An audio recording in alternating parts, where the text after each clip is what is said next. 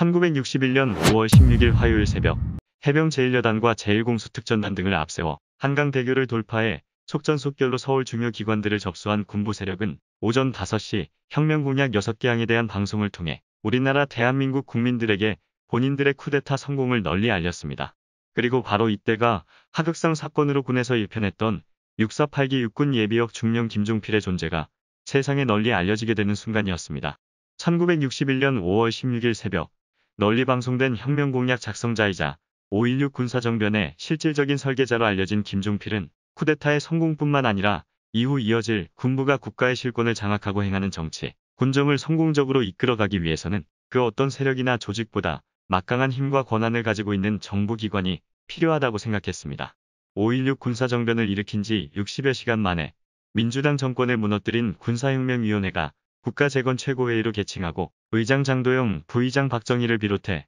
육군 예비역 장군 김홍일과 해병대 예비역 장군 김동아를 고문으로 쿠데타 주역 30명을 국가재건 최고회의 위원으로 임명하는 동안 김종필은 국가재건 최고회의에 이름조차 올리지 않고 은밀하게 이승만 정권과 민주당 정권에서 활동한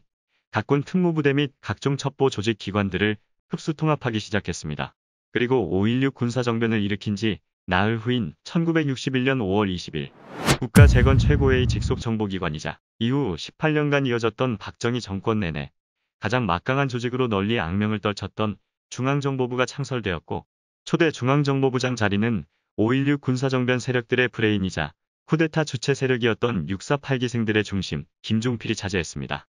당초 미국 중앙정보부 CIA를 모델로 창설했다고 알려진 중앙정보부는 국내 정치는 개입하지 않는 것을 원칙으로 각종 정보들을 수집하는 미국 CIA의 권한을 넘어서 국내 범죄 수사와 정보 수집을 담당하는 미 연방수사국 FBI 역할까지 도 맡으며 국내외 각종 정보들을 수집하는 것에서부터 이에 관련된 수사까지 모두 진행할 수 있는 무소불위의 막강한 권력기관으로 탄생했고 이러한 조직의 수장을 맡은 김종필은 불과 36세 나이에 권력 최고위층에 도달하게 되었습니다. 중앙정보부장 김종필은 자신과 함께 하극상 사건으로 예편한 석정선을 비롯해 648기 동기생들을 중앙정보부 요직에 앉혔고 신직수를 중앙정보부 법률고문에 임명하여 마침내 1961년 6월 10일 중앙정보부법이 제정되면서 5.16 군사정변 이후 본격적인 중앙정보부의 활동, 남산의 부장들 시대가 열렸습니다. 중정 법률고문을 담당한 신직수는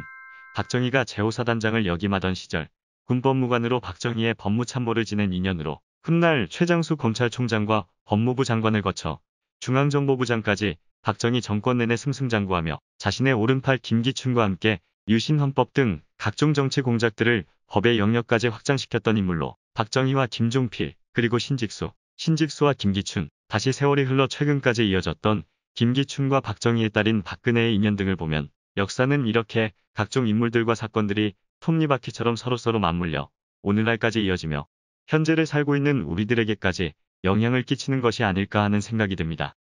중앙정보부법이 통과되기 며칠 전인 1961년 6월 5일 조선일보와의 인터뷰를 통해 기존 정치인들의 반성을 촉구하며 5.16 군사정변을 혁명이라 칭하고 이를 일으키게 된 동기와 경위들에 대해 자세히 열거하면서 처삼촌인 박정희와 함께 자타공인 군사정보의 핵심 중의 핵심으로 언론을 통해 모습을 드러낸 중앙정보부장 김종필은 본인이 직접 지은 중앙정보부표 우리는 음지에서 일하고 양지를 지향한다처럼 군정의 지속적인 성공을 위해서는 자신처럼 숨어서 정부를 뒷받침하는 일꾼들이 필요하다고 역설하며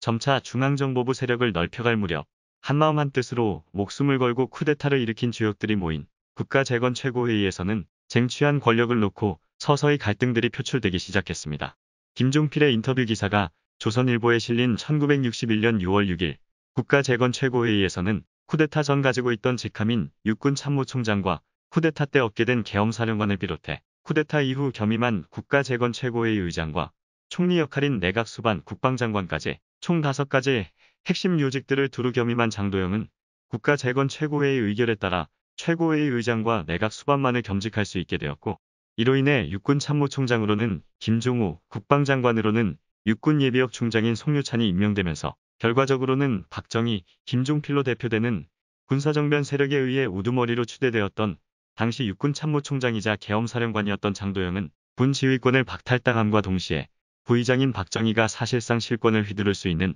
최고회의 상임위원장에 등극하면서 국가재건 최고회의 의장과 내각 수반을 역임한 것마저도 유명무실한 상황에 놓이게 되었습니다. 이는 5.16 군사정변 전부터 이미 치밀하게 계획된 것으로 쿠데타 당시 육군 총지의자인 육군 참모총장이라는 자리는 매우 중요한 자리로 쿠데타 세력에게는 그 자리에 있었던 장도영의 판단에 따라 자신들의 목숨까지도 좌지우지될 수 있는 상황이었습니다. 그렇기에 박정희의 경우 자신과 단단히 맺어진 인연을 담보로 장도영에게 미리 군사정변 계획을 알리며 함께 해줄 것을 수차례 당부했고 군사정변이 성공한 직후에도 언제든지 있을지도 모를 주한미군과 군 내부 세력들의 반격까지 견제하기 위해 장도영을 자신들의 우두머리 격인 군사혁명위원장 또는 국가재건 최고의 의장 자리에 추대하면서 이후 이어졌던 윤보선 대통령 하야 만류와 주한미군 설득에도 큰 역할을 부여했으나 군사정변 이후 한 달여 동안 그 쓰임을 다한 장도영이 핵심 요직들을 두루 겸임하면서 자신의 세력들을 키워 더 이상 제어할 수 없기 전에 힘을 빼놓는 일련의 과정들을 진행한 것입니다.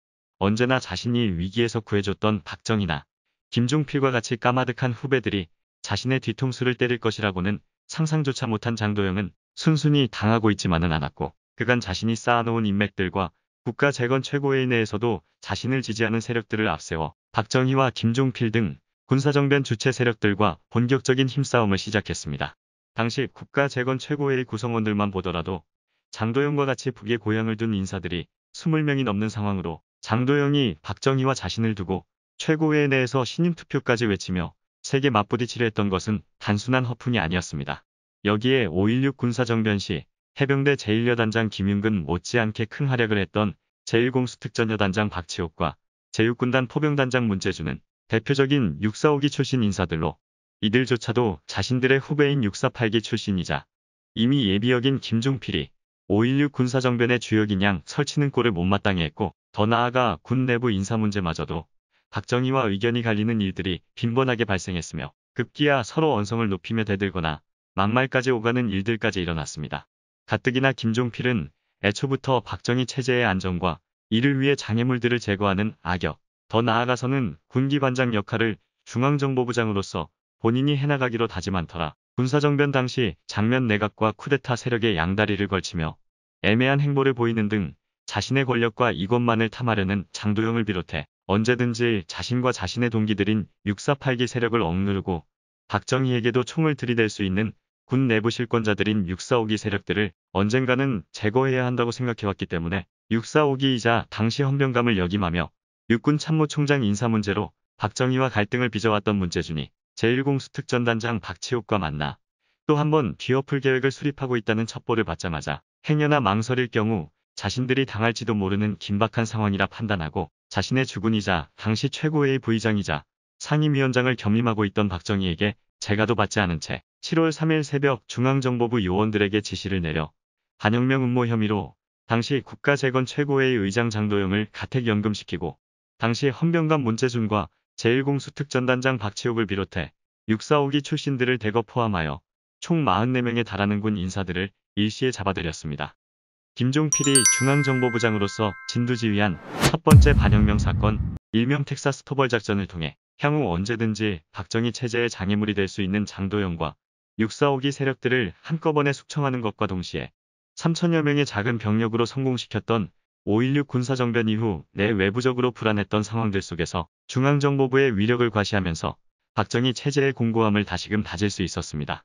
반혁명 사건 일명 텍사스 토벌 작전이 일어나고 다음 날인 1961년 7월 4일 언론에는 일제히 장도영의 국가 재건 최고회의 의장 사임에 관한 기사들과 박정희의 최고회의 의장 등극에 관한 뉴스들로 가득했고 이와 동시에 국가 재건 최고회의에서는 보안법을 개정 공포하면서 향후 지속되는 박정희 체제의 기반은 더욱 공고해졌으며 김종필의 중앙정보부 역할과 권한은 날이 갈수록 커져갔습니다.